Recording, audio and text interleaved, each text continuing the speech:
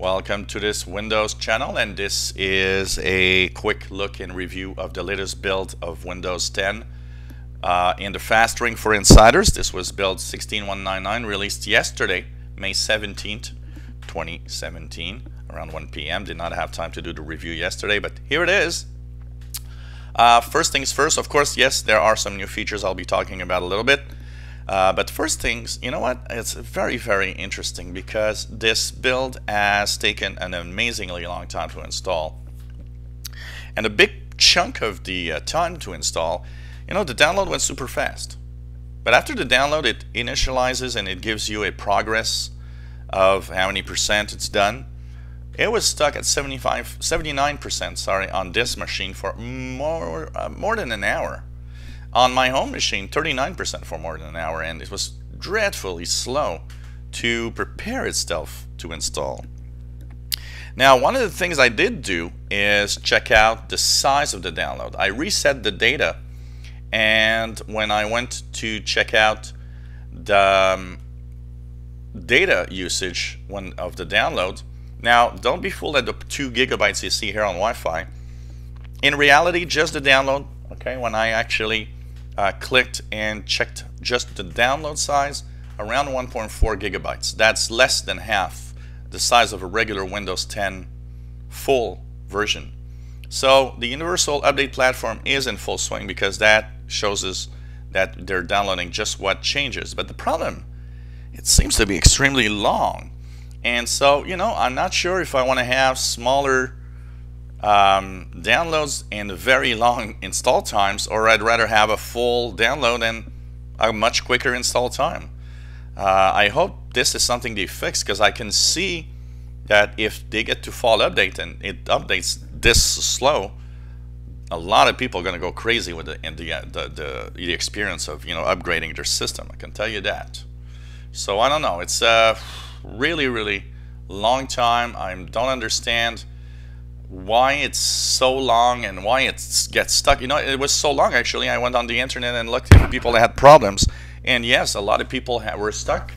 79% uh, seems to be one of the very popular. I'm stuck at 75% for the past hour and a half. Uh, but you know what? Be patient. If it does happen to you, I think you need to, uh, you know, just wait for it to arrive. Uh, one update about the story remix feature, you know, I was telling you how um, one machine, for example, my home machine has this, the new photo app and story remix. The other one doesn't have the new photo app and story remix. And actually what's happening is that um, Microsoft is saying to insiders that they are doing what's called A-B testing. It's a scientific method to prove the causality of a change on the observed impact and basically what it means is that some people are on a control group. If you don't have it, you're on a control group. And a lot of people, they say the majority of people are on the new Photos app with Story Remix. Now there is a thing that they say, if you don't have it, just uh, there, there's a link in the uh, Windows blog for the new build. Send the Story Remix team an email. They will send you instructions on how to actually force Story Remix in your system. And actually what I will do is I will um, be making a video uh, in the next day or two that should show you how to do it yourself if you want to have Story Remix forced in your Insider machine. But you know, if you're not, don't have it, that's you're part of a, a uh, control group. Um, and the build 16199, one of the things that they've added is the uh, next wave of uh, cool features for people available now insiders. Once again, not all of them. Um, you can see emoji from your pinned contacts. So when you receive an emoji from your pinned contact, you can now watch it appear and animate right from the taskbar. So if somebody sends you an emoji in the People app, which you see here, I've got some uh, contacts here with the People app, uh, that's pretty much what's happening uh, they, they've added emojis. So if you use that experience with different people, you'll have actually a uh, little animation. Um, notification badging, contact pinned to your taskbar will now display a counter if there are unseen messages. So if, if we contact one of these, I would have a little number saying, hey, you've got one or two or you know several uh, notifications of things you haven't seen so you'll be able to see who has actually contacted you directly from the taskbar. Uh, people first sharing, easier way to share. So one of the things that a lot of people go crazy about is what? Oh, I don't understand how to send a file to a friend of mine. Now, I got to say, on that side, people experience is interesting because you can now go to the File Explorer, just take the file and drag it on your contact at the bottom. And you know what? It's to actually send that file to that person. So, you know what? I do find that that's kind of interesting. That makes me, you know, wonder where people is going is might might might be interesting. And you know, as a, a tech guy, a lot of people are trying to share things together. And I got to say that by having that possibility, it's actually very, very interesting uh, to share easily anything. So just drag and, dr drag and drop directly. That's pretty cool. What else? There's the game settings. Uh, when you have, of course, everybody knows that there's broadcasting of gaming uh, with the DVR and stuff. Well, now in the game DVR and in the broadcasting, you actually will have a audio only broadcast if you want. So, you know, now it was, before it was like really um, a video broadcast, you can now have just audio and the settings. In the DVR game bar, they also have rename audio settings page under settings. So there are a few things um, interesting. And insiders, uh, you can see a game monitor, and I have it here on the bottom left under settings gaming. This is a potential future functionality. It doesn't do anything right now, but Game Monitor will actually be something that might actually have um, the possibility of monitoring uh, how games are working on your system and all sorts of little details of whatever you're doing on your gaming and uh, I think that's going to be interesting to see. Um, apart from that, there's a new uh, integrated system health. So, of course, you know that there's system health when you go to the um, antivirus, you know, we, there's the device performance and health thing. And, and there's kind of a, a, a full report that you can get actually easily now. So if you want to see the main system alerts and, and, and health, you can go now to the uh, settings.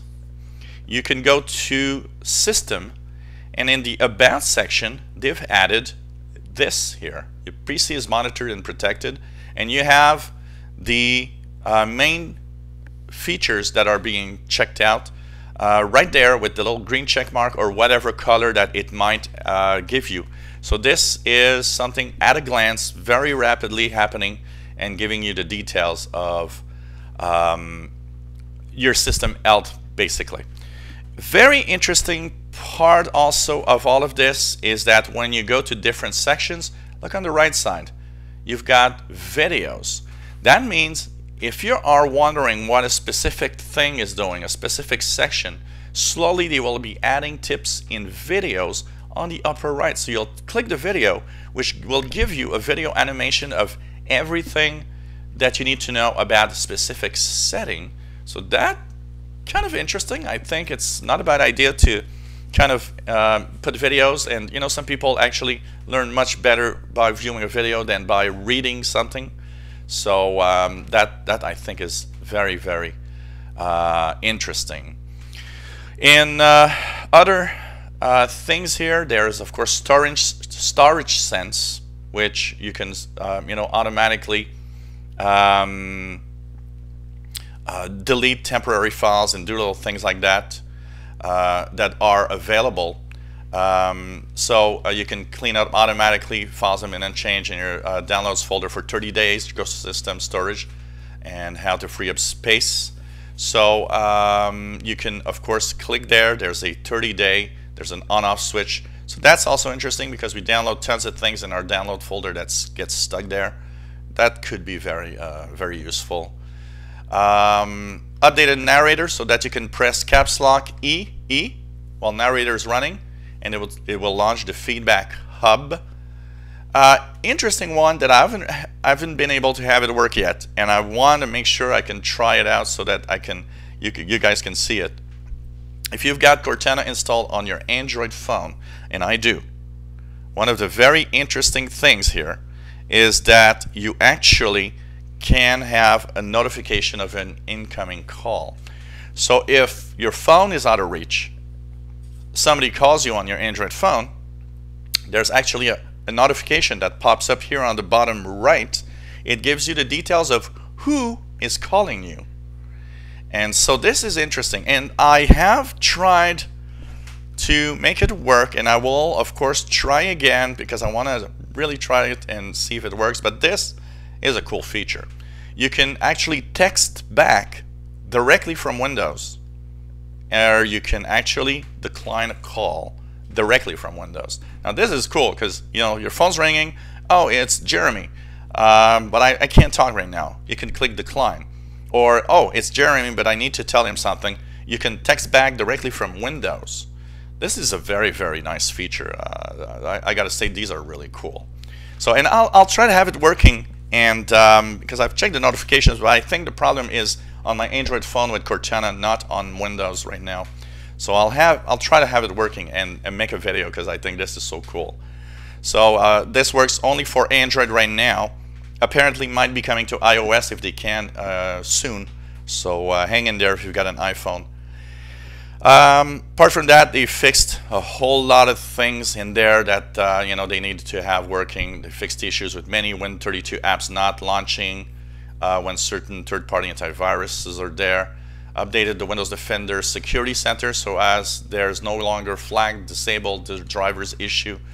Uh, so that's nice because you know, uh, and, and, they need to do more with that.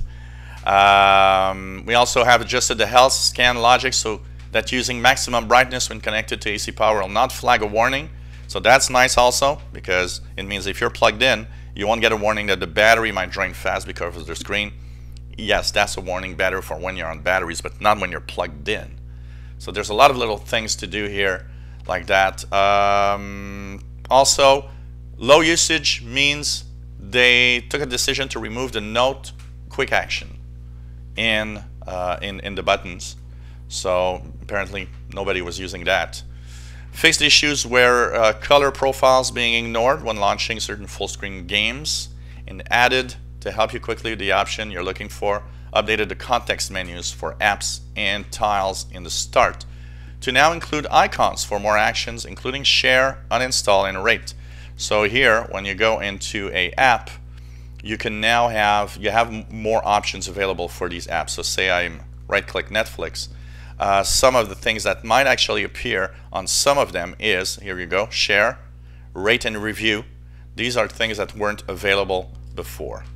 Lots of known issues. Of course, as usual, this is, you know, beta software. It is unfinished.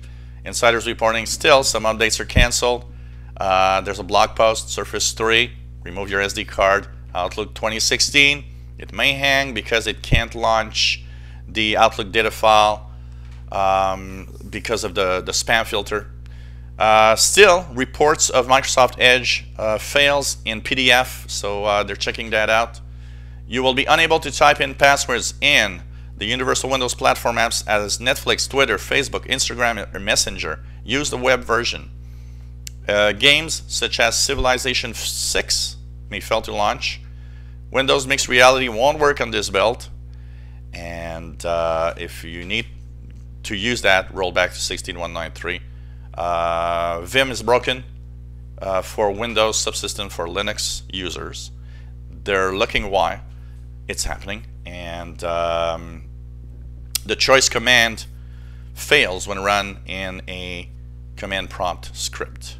So that's pretty much what's happening with this build. Really nice, nice new features, lots of little cool things, and it's fun to see that we're adding and they're getting there.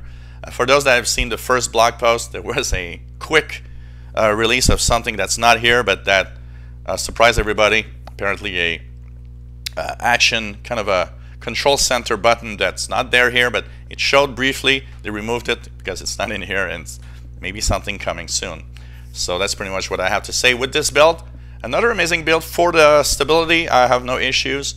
And of course, look at my insider channel. Much more videos coming up of this build and features and the call functionality and everything, notifications. Hope you enjoyed my little review and look at the different features. If you enjoy my videos, please subscribe, give us thumbs up. If you have installed this build, please let us know how it goes with you. Kind of fun to see what everybody, how it goes with everybody. So thank you for watching and uh, hope you have fun with the latest build, 16199.